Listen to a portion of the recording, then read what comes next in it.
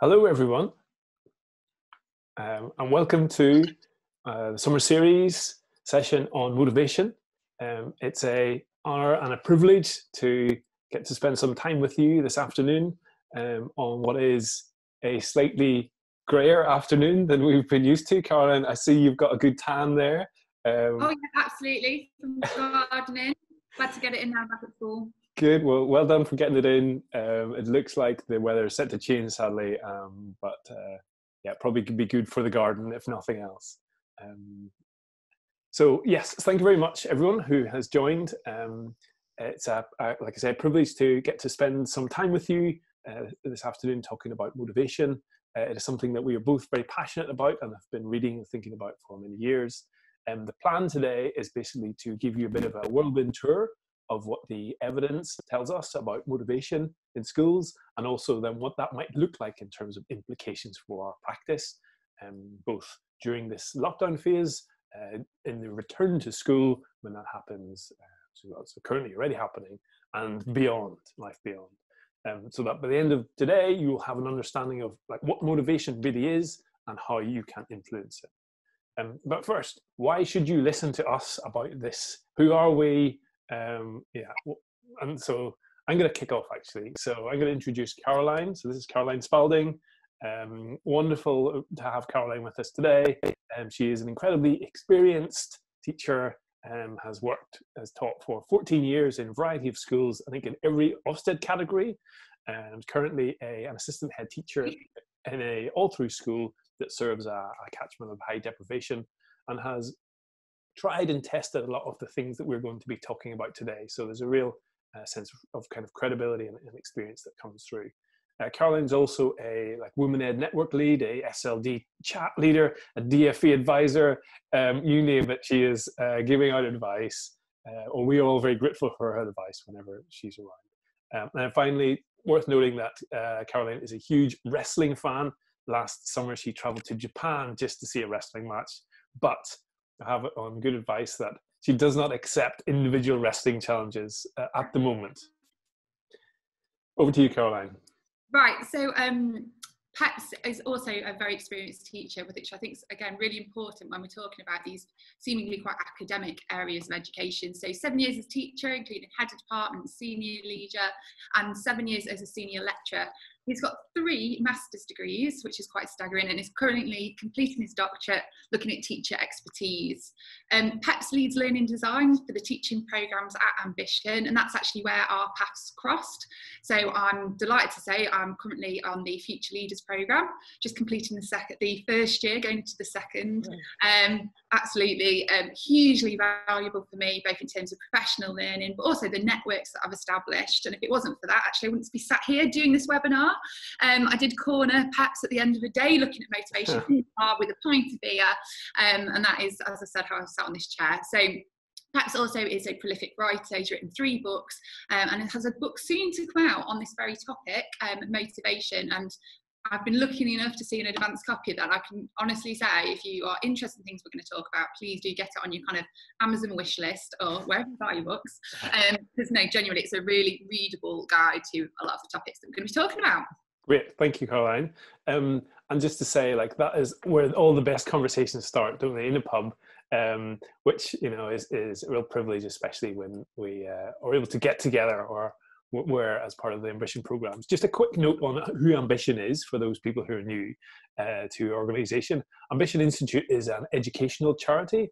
Um, has the mission to help school leaders and teachers to keep getting better, and particularly those that serve uh, disadvantaged communities.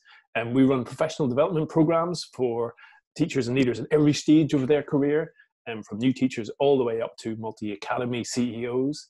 Uh, and I suppose this session is part of a summer series, a program of webinars that we are putting on uh, across the summer to help you uh, as educators through and beyond the coronavirus pandemic.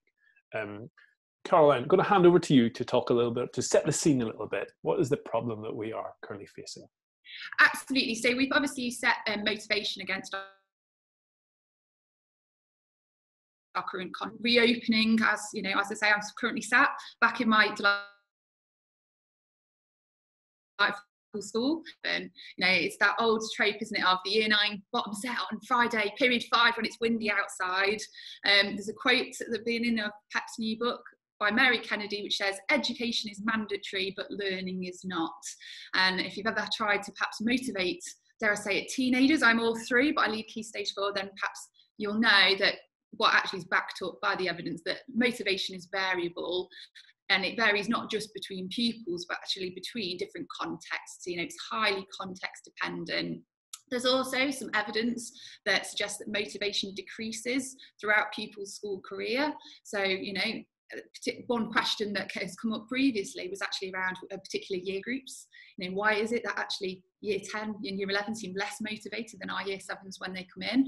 Um, but having said all that, the issues that we perhaps are used to as educators are likely to be exacerbated by this lockdown, um, which we've been I want to say enduring, but I think that probably is quite the right word. So obviously school closed on the 20th of March and we've been faced with a number of quite unique challenges. So I think there's an image perhaps on the slides that we were going to share of, of a letterbox. And this will be kind of one of my enduring images, I think, of lockdown. Um, so within my my own school, um, we've got many pupils, about 40%, who don't have access to internet, reliable internet, or a suitable device for home learning. So we've been creating all of these paper-based home learning packs. We're now over 300, I think. Um, and in some cases, we've had to go out and we've kind of had to hand deliver these packs. And I will always remember these little tiny hands kind of reaching out through the letterbox towards us because there was so much fear of even opening the door um, to, to somebody else from outside of the home to collect this pack. And obviously, this is kind of, as I say, humour, very much this memorable image, and almost the sort of joy I have to say of seeing these these children thinking in what's quite in a, a creative way. But for me, that that image of the door space really symbolises the separation and the anxiety um, that we've all had to face during this really strange, unusual, dare I say it, unprecedented time. You know, we quite literally haven't known what's going on behind the door. And you know, first and foremost, that's got real safeguarding issues um, for every school leader, but also in terms of that home learning. Um, you know, we've really had to think about how we maintain communication to find out what is going on. So the particular barriers that I'd, I'd kind of say that link to motivation, I think the next slide perhaps has got um, a bit of a summary of these. So first of all, you know, even if pupils are engaged with home learning, then we're certainly going to be facing a loss of curriculum time and correlative low attainment for pupils. You know, we can't necessarily get back or try and recreate those months of learning that pupils have been at home. And we know that low attainment can impact on pupils' motivation. Second of all, many of our pupils will be facing a lack of structure and routine. So, you know, whether that's as simple as getting out of the bed later on, but also those, those transitions that we're so used to as educators from lesson one to lesson two, from break time to their form tutor period. Um, and again, that's definitely linked to, we know, motivation. There's also likely been a weakening of social norms and behaviours, so it's highly unlikely that they've been seeing their peer group. And therefore, there's also likely to have been a weakening of social ties. Um, and, you know, that's again, as an adult, I've been struggling not be able to see my friends in a similar way. You know, the Zoom chats, the Zoom quizzes on a Friday night just aren't quite the same, are they? And then last of all, you know, even adults, I'm sure, have felt a sense of a loss of agency, you know, a lack of control and actually not being certain about where things are headed. Um, and that ties in with the lack of a kind of sense of purpose. You know, if I'm not doing my, my usual day-to-day routine, actually, what, what am I doing? But if motivation was already an issue in school, as I've said, you know, before lockdown, why is it that we can't just apply the same tools? You know, why haven't we cracked it yet? So perhaps over to you for this bit. Why is it so difficult to use science, you know, all those tools that we hope that we have as research engaged educators to tackle motivation? Yeah, I think it's, it's a good good question and an important question, Caroline, actually. Because um, we need to understand why we're in the situation we're in if we're going to uh, be able to change things for the better. And I'd say like the, the root of the problem for, for me, looking across the evidence and thinking about this problem for many years, is that motivation itself is a largely complex and invisible thing, which just really doesn't help us at all. Um, suppose our motivation, the mechanics of our motivation evolved over millennia in response to uh, in an environment where resources were scarce. The outcomes of our actions were often unpredictable, and collaboration and competition were, were this really delicate kind of trade-off balance. Um, and so, like, there are just a huge number of factors that come to play whenever our motivation is concerned, and so it's just a really complex thing to wrap our heads around. The the impact of that kind of evolution of our motivation has meant that it's a very deeply wired thing in our brains and our biology. You know, motivation, our motivation influences at the level of our, our, our genes, of our synapses, and of our, our hormones. Um, as a result, it's, it's really quite hard to see. It's, it's largely invisible and unconscious, uh, or, or at least below levels of conscious awareness for most things. Like a lot of the decisions we make uh, that are driven by motivation are, are not ones that we're always aware of. So it's hard to figure out. We can't just open up some heads and have a look inside. Um, we can't easily use trial and error in the classroom to figure out what works and what doesn't. Um, and we can't even introspect our way to enlightenment because it's just not something that is uh, easy for us to reflect on. So experience by itself is just not enough. Like you say, we kind of need to draw on the science. Um, it's a bit like, and here's my uh, analogy, it's a bit like trying to peer under the uh, or, or trying to understand what's going on under the hood of a sports car um, uh, with the hood closed it's very it's just too complex to figure out without actually Uh, opening it up and having a look inside. And that's just what we're going to do today. We're going to try and figure out what the science tells us about what motivation is and how to influence it. So let's just start with that first question what motivation is. We're going to think about it think about it through kind of four lenses as it were. And the first lens is that it's, it's useful to think of motivation as a mechanism for investing attention.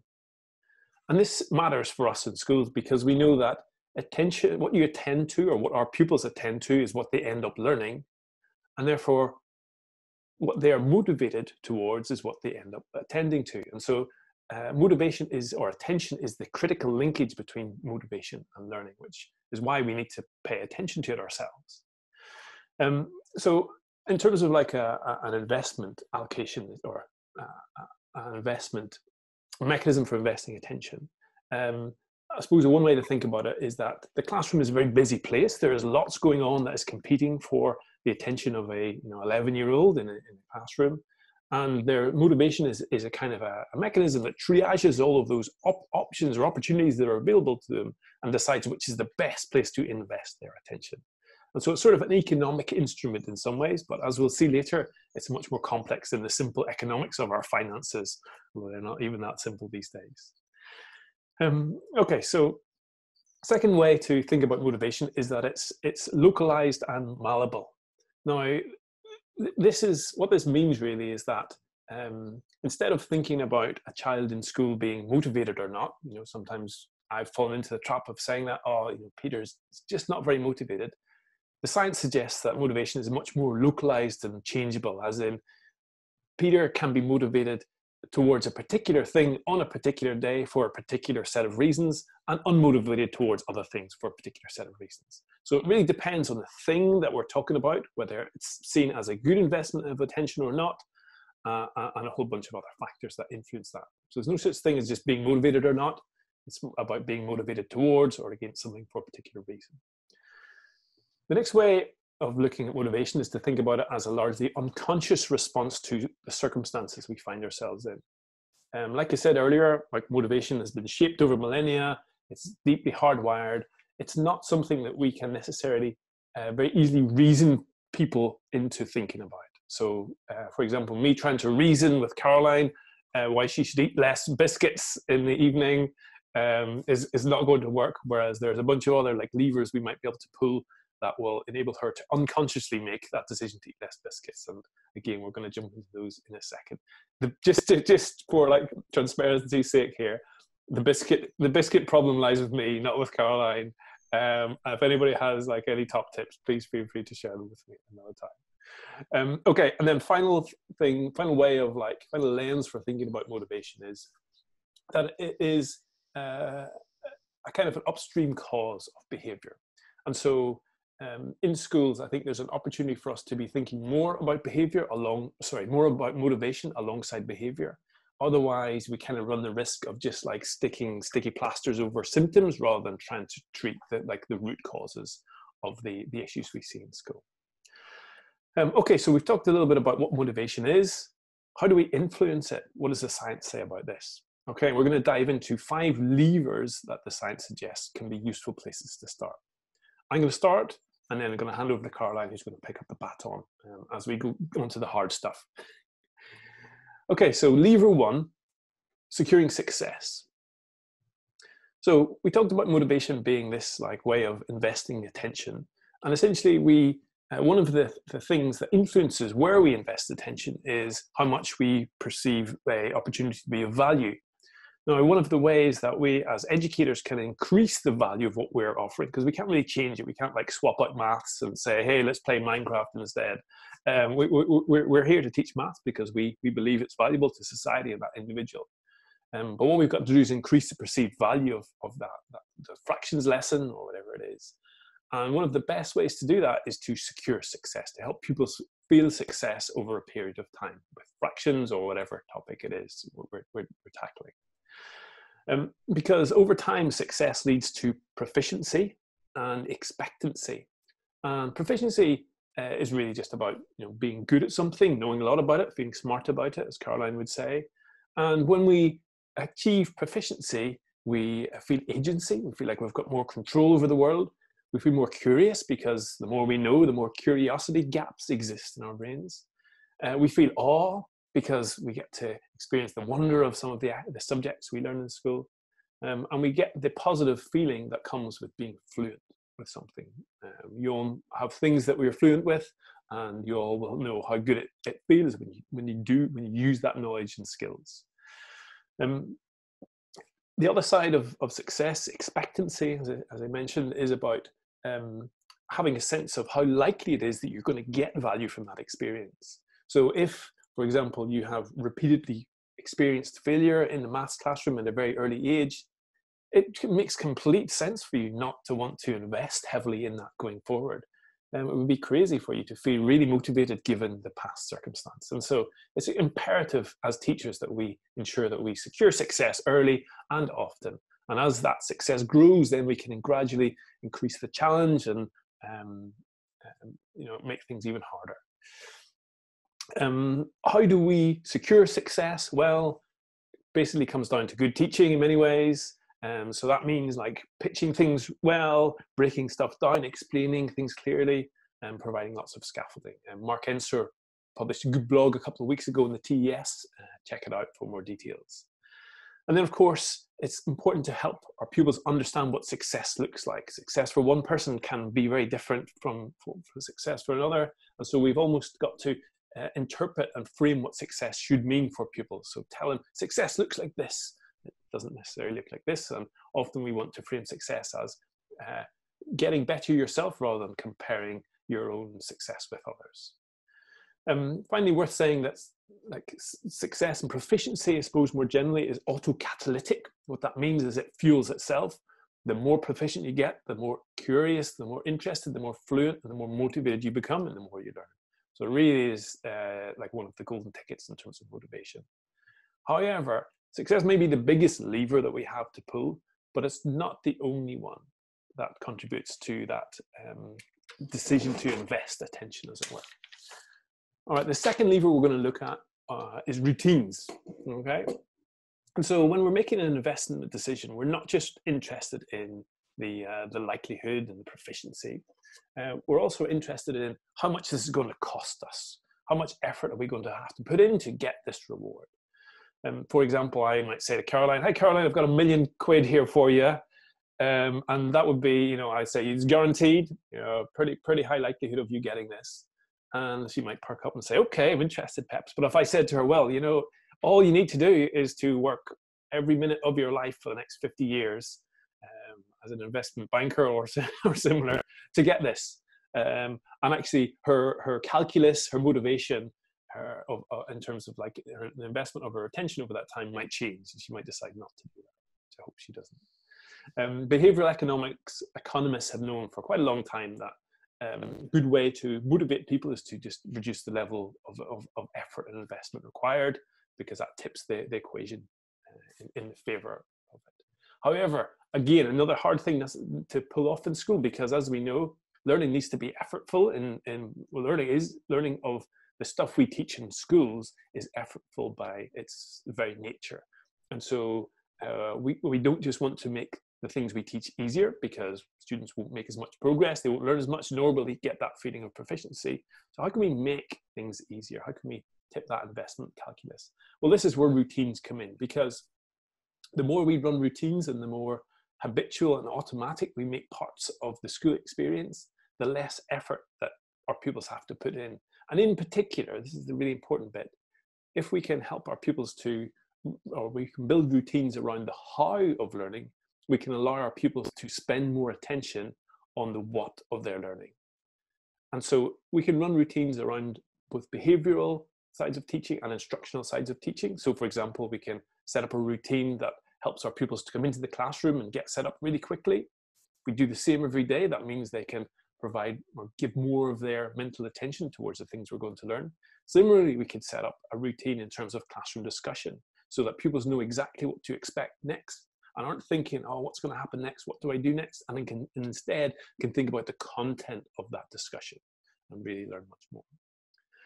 Now, there are lots of great routines out there. Um, you can open a, a, classroom door and have a look inside and, and, and grab your own mix of routines. You can read books, Teach Like a Champion is full of great instructional routines. Um, you can also create your own if you just script out what you think you should do and then importantly have a trigger at the start or a cue that releases those routines. Um, and then if you are going to establish your own routine, most important thing to remember is you just got to do it repeatedly and stick with it. Often the value that comes with routines doesn't come instantly. There's a bit of a lag time. Um, and so it's very easy to give up early and not benefit from all of the, the benefits that routines give. Anyway, those two levers, sowing success and running routines, paint motivation as very much an economic instrument, one about transactions. But we know as humans that schooling and education and learning is a much more social phenomena. And luckily, we've got Caroline here to help us understand how those social phenomena can mediate some of the success and routines and other aspects that influence motivation in schools. Caroline, over to you. Lovely, thank you. So you might have come across the EAST framework. It was developed by the Behaviour Insights team um, whilst we're looking at how governments can successfully sell their policies to us, the public. Um, it stands for easy, accessible, social and timely. And obviously, Peps has talked a lot about the idea of making things easy, low, low effort, low cost, and actually had the impact of that on motivation. But social is obviously this idea that we are social beings, we value relationships with others. And if you look at something like lockdown, and arguably why that hasn't been successful everywhere, certainly my neighbour, I'm not sure they actually knew that it was lockdown, they've had a good few parties, but you know, it is natural and human, if you like, to seek that sociability, that interaction with others. Now, within schools, we often think about social reaction, um, sorry, social interactions first and foremost as being between pupil and teacher, and that's perhaps the lever we go to in terms of motivation you know, one of the thing, reasons I got so interested in motivation was because when I picked up Key Stage 4, I needed to get more pupils going to after school revision. Um, we're a very high mobility school, so lots of our pupils have got gaps in their learning caused by quite fractured experiences of education. So that's a really important way of us helping them um, fill those gaps. And often what I would find was, as I built my own relationships with students, they'd say things like, oh, all right, I'll go for you then, miss. Um, and you can see that there, can't you? That actually they're coming because of those positive relationships that as teachers we value and we work so hard to build up. But the more I read, um, texts like Graham Nuthall's Hidden Lives of Learners do really powerful jobs of talking about actually the influence of peers on motivation. Um, there's a great quote, it says, when there is a clash between peer culture and the teacher's management procedures, the peer culture wins every time. Um, and don't we just know that? you know, it's all well and good them saying they're, com- they're coming to revision for me. But you know what? If two or three of their mates said, no, come on, let's go home. I'm guessing actually their, their friends would have won. Um, but it's not just about the close ties, you know, their their closest friends, actually loose ties across a whole year group or even a whole school can be really powerful for motivation. You know, I've chosen this image of, of a herd because we don't really always like to stop and reflect about that power of um, conformity, of fitting in, of actually feeling like we're part of the group. Um, and yet, naturally, it has a significant impact on our behaviours, good mentality and this desire to conform as educators, well, we can create really visible social norms. Now, it is most effective when we pick out the desirable behaviours and emphasise those, as opposed to trying to underline what we don't want pupils to do. Um, there's quite an old blog by James Theobald on Twitter, which I go back to time and again, and he talks about how he, he was trying to get his class to do their homework, and he found himself saying things like, None of you have done your homework. And what he's really saying was, if you want to fit in, don't do it. You know, it's normal, it's what most people are doing, therefore, and actually, when you start to really see that and stop and react, how many times have, have we done that in a class? You know, when we're at the end losing our rag, right? None of you are listening to me. Um, and there's a great quote in that blog by Cialdini. He says, Within the statement, many people are doing this undesirable thing, looks the powerful and undercutting normative message that many people are doing it. Um, and we can flip that on our head. So what I've done with after school revision is really focus on, you know, 96% of you, 57% of you. And you can imagine me stood there in assembly, you know, with my arms demonstrating the vast majority of pupils are attending, are going. And actually what that means is you know this is natural it's normal and it doesn't stop those quiet one-to-one conversations that you know we always have with individual pupils you know why aren't you going but it's allowing pupils to see that that is the, the social behaviour, it's the, the nudging the norms. And there's the Matthew effect then um, in failing schools and compound interest in successful schools. You know, success breeds success. And actually, if most pupils are doing the Zara behaviours and that's what pupils are seeing, then it's likely to actually lead to others being motivated to also do it.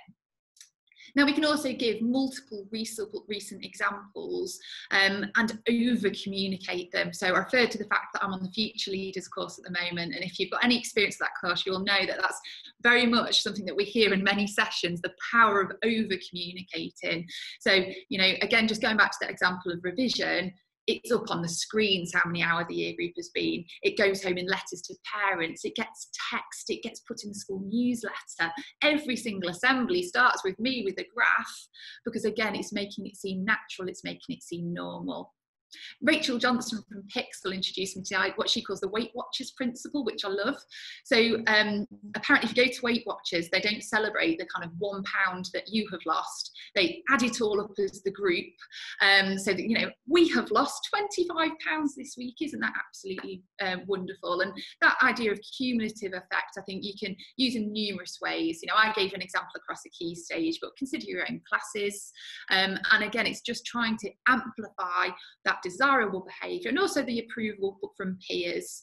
You know, all of a sudden it's very difficult to say, oh, I'm not going to revision because actually we've demonstrated that the vast majority of you are. And it's really difficult for pupils and for adults to place themselves outside that norm.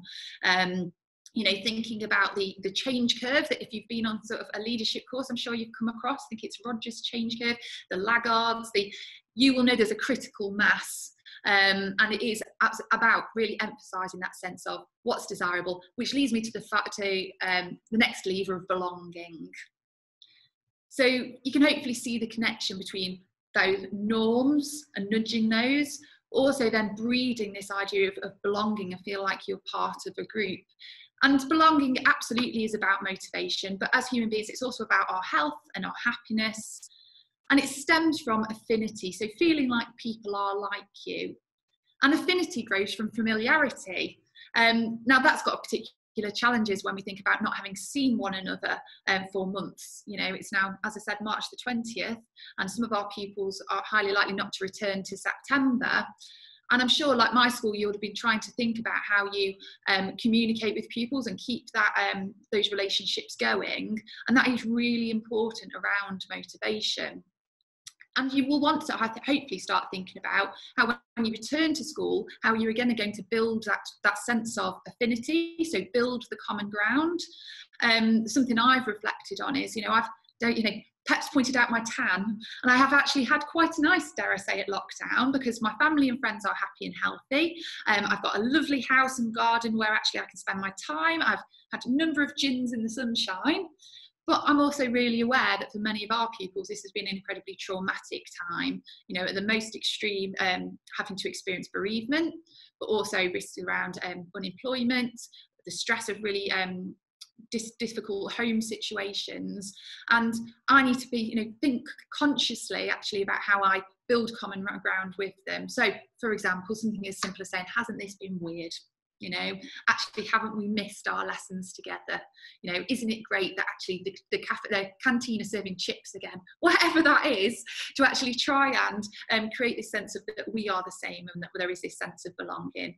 Now things that i've done to try and make the people feel included and kind of really emphasize that sense of the collective in the past is creating a shared identity for groups of students. So um, i've met lead key stage four so our year 11s always get almost a slogan and a brand name. We've just started talking about what we're going to use for the new year, um, the new year group. Um, in the past, we've used do the work. Again, Peps's mentioned I'm a wrestling fan, and if you I know anything about WWE, you might recognise that as Triple H's um, slogan. But obviously, it worked for trying to motivate some year 11 pupils. A bit daft, but it really did breed that sense of belonging in the year group and we gave it to pupils on a keyring and we've got a luggage tag there but sort of representing that idea that they're Tara said they're almost branded but we had um, re- revision logins apps um, on the back of that keyring that we used. And it was like a visual artifact of their belonging.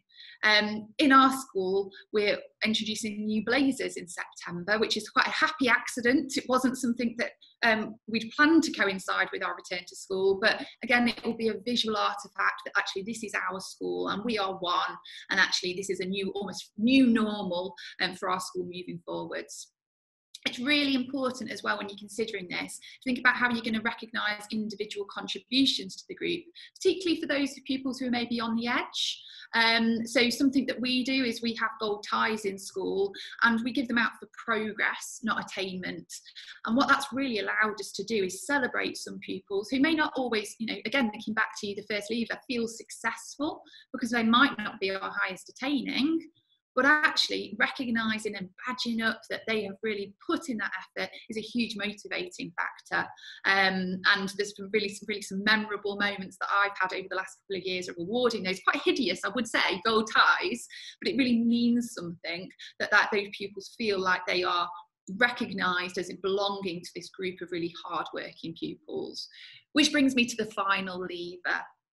So building buy-in now, usually um, when we're talking about buying, we do this through giving autonomy or choice. So, so in Peps's new book, it says where, where our pupils feel that are, they have meaningful choice, they'll put in more effort, persist for longer, and enjoy their learning more.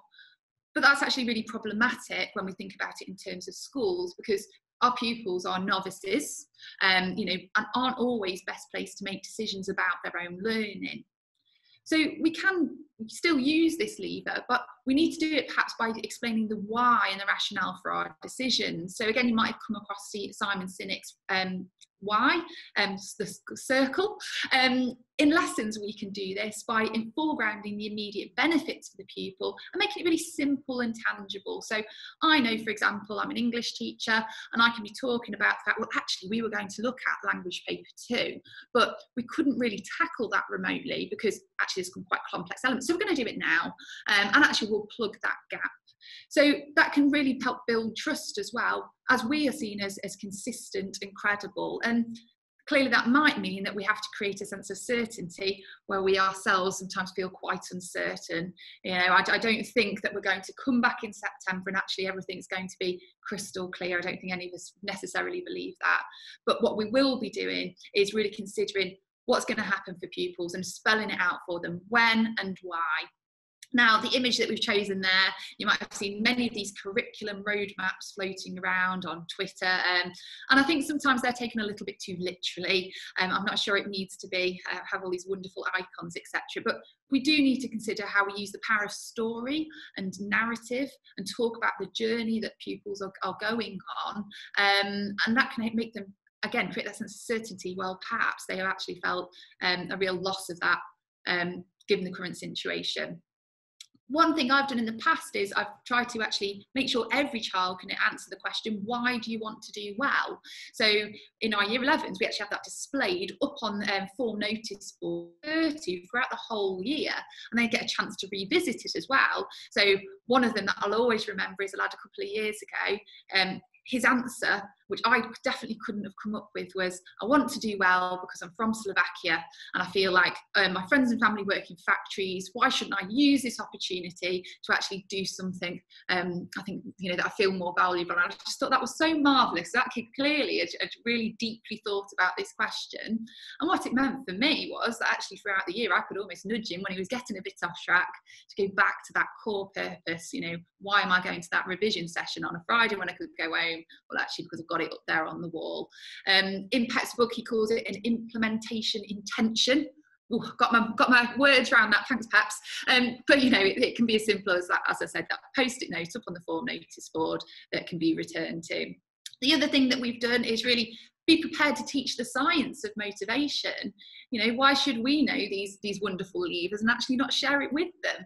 Um, it was interesting when Peps and I started talking about this session. We talked about um, I was trying to jog more. And I don't know if you remember this, Pepsi, you said, well, it's brilliant because we know the science of motivation. And I thought, there's a bit of a challenge and a gauntlet. And you know what? It has worked. I, have set myself a routine.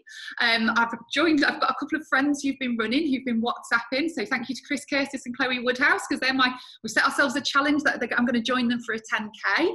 Um, but it does work and you can consciously put these levers in place in your own life. So why not allow pupils to do the same? So we've looked at our tutor time program and from years 7 to 11 we're building in some of these things. So looking at self-regulation self-talk um, alongside giving people some of the academic you know skills so they're also learning about dual coding for example.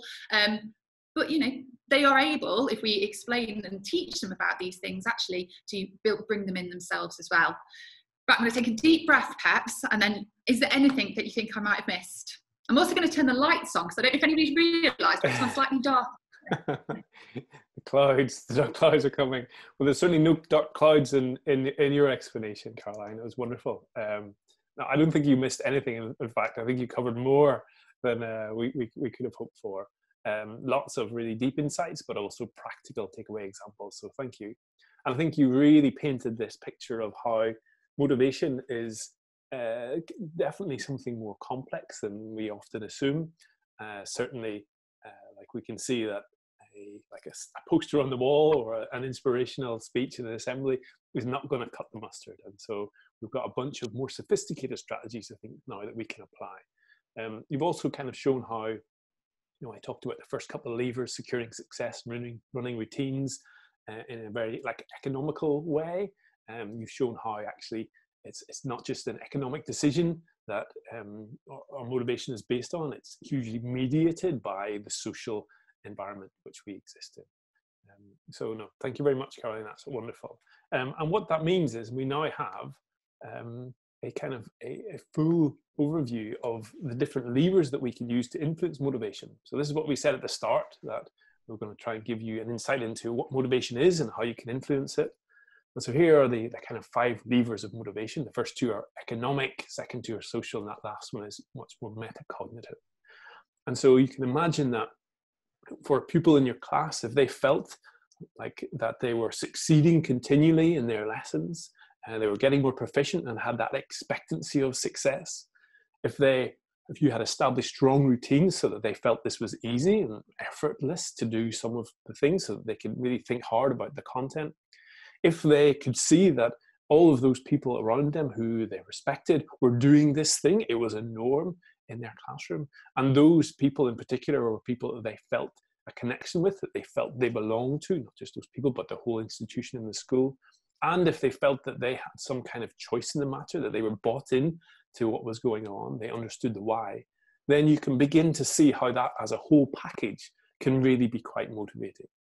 And so Together, the um, what we have here are a set of lenses for thinking about motivation and levers for influencing it. And I suppose together we can talk about this as a motivation for learning framework.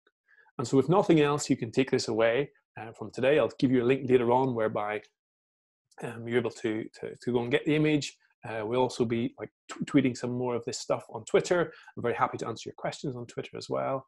Um, I think like perhaps the last thing to to say here is that well, a few things. Firstly, the, the evidence ar- around motivation is just nowhere near as strong and robust as the evidence that under, underpins some of the science of learning, for example, from cognitive science. Um, the evidence that we have had to, to pull on to construct this framework is uh, kind of spread across multiple fields. It's not just all tightly packaged up in one kind of science and motivation. And some of those uh, pieces, of, pieces of evidence have um, like failed to replicate over the last you know few decades. And so the ground isn't as firm as we'd like it to be, but the problem is just simply too urgent for us to hang around and wait for the science to, to sort itself out on. There is definitely enough for us to be able to join the dots across fields to be able to make some like best bets in terms of what we think could be useful to do. Um, of course, this is no magic wand. Things aren't going to change overnight if you start like pulling these levers. Um, you know, changing motivation uh, takes time. The work of teaching is complex. Um, but if you do stick at it and apply these things, um, I, I, suspect you will see some po very positive changes over time. Now, this framework uh, will work in school, but you can also use it on yourself. like Caroline said earlier, she tested it out with her, you know, trying to get into running a little bit more. And, you know, if you have something like that, you want to, you know, get fit or whatever it is, um, you can think about these levers. So, for example, securing success. Make sure that you don't go out and try and do a marathon in your in your first go. Uh, you will, you know, you will not experience success. Like, make sure the first step is one that is really easy to do and one you feel good. Uh, you can feel success in. Uh, you know, drop the bar down enough, go out for a little run and build up slowly so you're continually feeling success. Um, and you expect success to come from your efforts. Um, make it a routine, make it a habit, make your running a habit have it set so that you go out at the same time every day so that you don't have to think about anything else. It just happens automatically whenever you hop out of bed or you're finished, you come home from work or whatever routine it is you set up. So um, it just is easy to do. How do you nudge the norms around this? Well, I suppose you could like maybe watch uh, TV programs of other runners so you can like start to see that other people do this and they uh, you know value it. But perhaps maybe more importantly, it's about breeding that belonging uh, like Caroline said, she like twisted some arms of her mates to uh, set up a bit of a WhatsApp group so they could encourage each other. And she felt like she was part of something, uh, was doing something with people who she felt familiar uh, and connected to. Um, a great way to do that is just to join a club. So, you know, more effective probably than going to join a gym is to join a club where you can go along and there are other people, like a class or a club where other people are exercising because you'll feel some kind of social accountability there um, and feel part of that group and have status and all those kinds of things. And then finally, it's always worth remembering that you know what you do is a choice. And so checking in with yourself every so often, why am I doing this? Why am I running? Uh, so that you can just be really clear. And again, that can help tip tip the scales, tip the balance uh, in terms of that investment decision whenever it comes to it. So there you go. Um, now you have uh, an overview, an evidence-informed overview of what motivation is uh, and how to influence it. Um, and just a reminder that like the prize here is is is, is worth it. Uh, if we can do this, we will end with pupils who um, pay more attention, put in more effort, and persist for longer in the classroom. And you know that is is, is definitely worth it. And alongside strong curriculum, uh, good behaviour management system across your school, and great teaching, you will able, be able to uh, help your pupils learn more, which is the, the ultimate prize for, for us in education. Um, this is best seen as the start of a conversation. Um, you know, the science of motivation is nowhere near cracked. We have just opened the tin of beans. That's the worst analogy ever. Are you back, perhaps? I think there was a slight technical difficulty then. The, my, um, my, somebody has asked. My analogy was so bad, Caroline, that it actually broke the internet. I was just going to say, I was, I was just going to say, we're, we're kind of, we're, we're seeing this as the, the start of a conversation. Um, you can pick up this conversation with us on Twitter. There are our Twitter handles, and of course, you know, you, there's you head over to Ambition where you can get more involved in the summer series, but also uh, think about like joining one of our programs. Um, earlier on, Caroline mentioned she was part of the Future Leaders program. Um, Future Leaders is a two-year leadership development program for senior leaders um, who are like two to three years away from headship and are keen to learn the skills and uh, get the expertise needed to lead a school in challenging contexts to help close the disadvantage gap. Um, the program is heavily subsidized by the DFE, making it great value for like leaders all around the country. Um, there's a deadline coming up on the 19th of June, which isn't far away. So make sure you uh, find out and apply soon if you're interested. Um, and then, yeah, make sure you check out the rest of the summer series. The next one that's coming up is uh, a session by, let's see, is Melissa Tomlinson, who is going to be talking about curriculum. And that will, I suspect, be another interesting one. Um, last things to say from me really are that, uh, again, start of a conversation. If you want to uh, know more, then here are some things you can read. We scratched an itch. Um, there's a link at the bottom where you can go directly to for the links. Uh, there are some academic papers there. There are some books that are useful. And there's my book in all its glory, which isn't out yet, but hopefully will be in September, all being well. Um, so yes, would be fascinated to hear your thoughts if you do end up getting a copy of that. Um, right, Caroline, I think we're done. Do you want to Wonderful. tackle a few questions? Absolutely. So there's quite a few around whether this will be shared as a recording. Absolutely, yes, it will.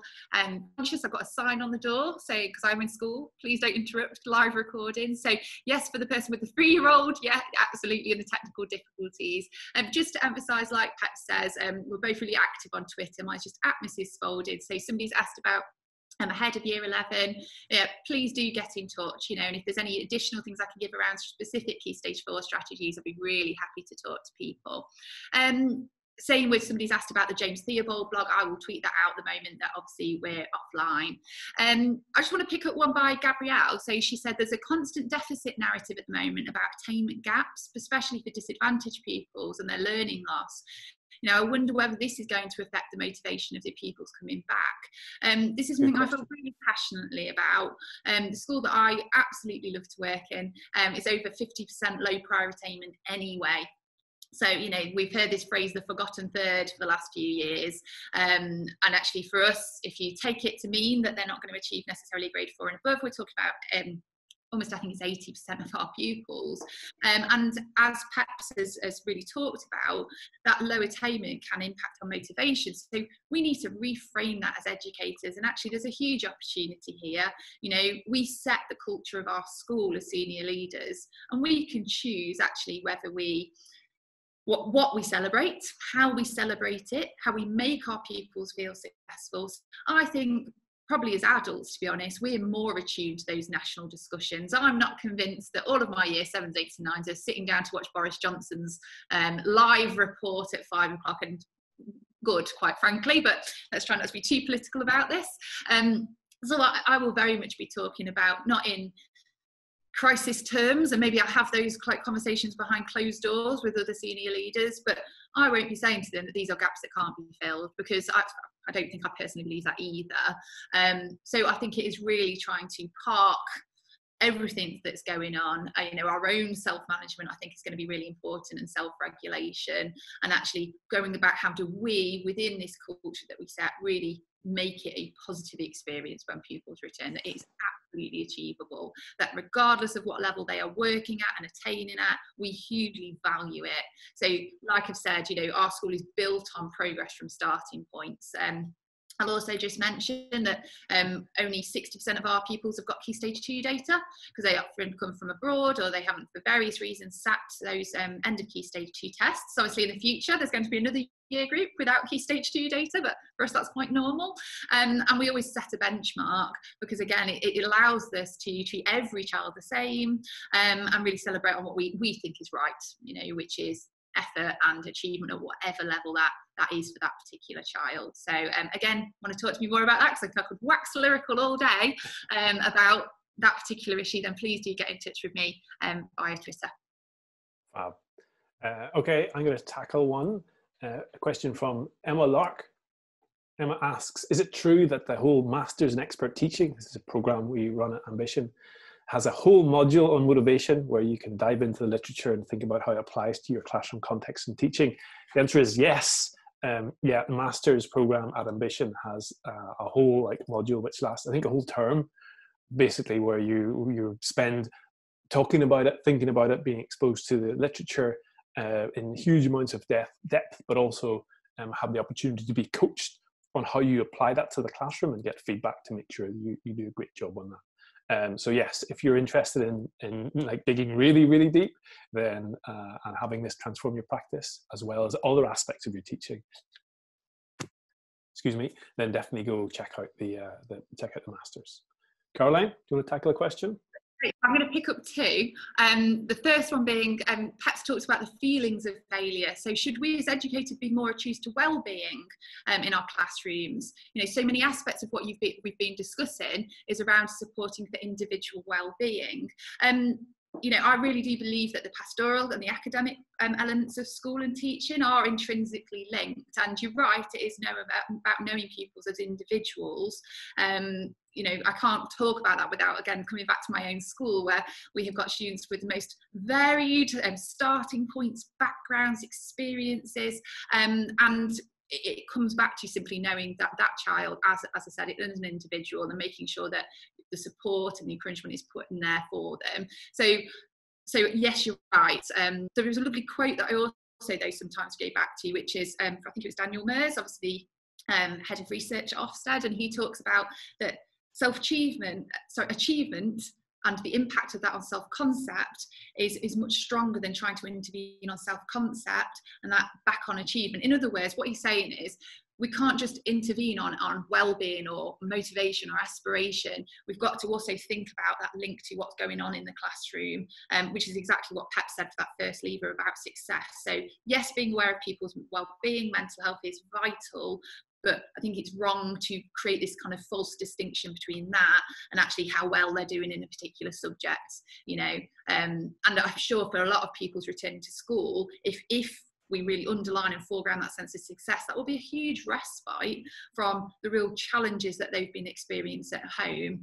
Um, you know, I must admit, being back in school this week for me is quite lovely because I, I this is where I feel successful you know and I enjoy my job. Um, and I can see already that for me you know whilst it was lovely sometimes the gardening so don't presume that actually coming back into school is going to negatively impact on their well-being. You might find the exact opposite. And I've got to answer the one about who's my favourite wrestler Kenny Omega every time. Sorry. Okay I do, who, who? Can you repeat that? Kenny Omega yeah, yeah. Uh, I, I, won't go into it too much. He was wrestling in Japan for quite a while. Now all elite wrestling, but if you're into wrestling at all, you'll know he's number one. Okay, we'll, we'll check out. Be sure to check out Kenny Omega after the uh, Omega after the after the webinar. Um, Nick Edwards asked, "Are we aware of any useful blog threads on remotivating engaging students post COVID?" Um, I, am not sure there's that much uh, out there. There's a blog coming um, my way, I think this evening. I've been working on one and um, it's due to go on the Ambition site tonight. Um, Caroline, you mentioned the James Seal blog that you're going to tweet uh, later I on. Am, yeah, I'm also um, writing a short article at the moment for the St Matthew's Research School newsletter. So I'll ask their permission if I can put that up on my own blog. Um, but yeah, we'll absolutely signal um, some bits of reading. Fantastic, yeah. And then again on that, the link that you can see on the screen, um, we'll have lots more kind of not necessarily blog, but like more, more rigorous bits of writing on on motivation. Um, we got time for a couple of last questions. Yeah, so I'm happy to pick up one more. So, um, with year 10 and 12 potentially returning in just a couple of weeks, what would you think the priorities to address um, are with these critical year groups? So, um, this is actually very much around to our kind of tentative plan, and I say it's tentative because obviously, dare I say, the government keep moving the goalposts. Um, but for us, it is very much going to be lines of communication. So, you know, when they first come in, is it their form tutor who who meets with them? You know, establishing that actually there is that sense of belonging. Um, talking to them about home learning and really emphasizing the positive aspects of what they've been doing. So, can they bring in work that perhaps they haven't physically submitted? As I mentioned, a lot of ours is paper based. Um, and that's going to be our priority. It's certainly not going to be let's sit down in a classroom and let's try and plug these gaps which we, we know you've got. Um, you know first and foremost underpinning all that of course is safeguarding. So uh, safeguarding and then the five levers for us absolutely. Um, if again, if you want to talk about more specific kind of plans for those year groups, then I'm very happy to talk kind of at length on Twitter. Um, I'd also just briefly pick up. So, what are the misconceptions that you often come across when sharing this research with teachers and SLT? Um, for me, it's definitely got to be the idea of the language. Um, it's very easy when you're up against it in February of year 11 to, to slip back into that, that negativity and the big stick of none of you, you all need to work harder. So I don't know if it's a misconception, but that's certainly something we have to really guard against. Um, it did I, a couple of weeks ago, we were starting to get the sense of some teachers were thinking that pupils weren't working as hard as they would have liked on home learning. And we really had to sort of go back to the statistic, go, no, look, actually 85% of them really are working incredibly hard. So I think it's just constantly returning to um, the science and returning to what you know is, is going to work, holding your nerve, if you like. Yeah, and, and just being, uh, as ever, being wary of like transplanting what might look like to just be a really easy and simple answer into into your teaching. So uh, like we, we've we've seen this with other aspects of the science of teaching, um, I suppose. Um, and there's it's a great question. Uh, are Hawthorne weight where you are? Um, there's definitely going to be some misinterpretation along the way, I suspect. Um, and probably what we can do best to mitigate that is by all becoming a little bit more um, professionally knowledgeable about motivation, I suppose. Um, but that will take time because, like I said earlier, like the science uh, isn't in a great shape at the minute. And so it will take time for us as a profession to begin to wrestle with that science and codify it in ways that um, we can apply with, with a measure of certainty and confidence uh, in the classroom. But great question. Um, Caroline, thank you so much for taking time out of your school day to come and um, discuss this with us. Thank you so much for everyone in the audience who has uh, taken a bit of time out of your day to come and listen to us talk about motivation. I hope it has been useful. I hope you have some takeaways around what motivation is and how you can influence it. And I hope the, uh, the rain's just started here. I hope you have a great rest of the day and manage to keep topping up that tan uh, as you head forward. Bye, everyone.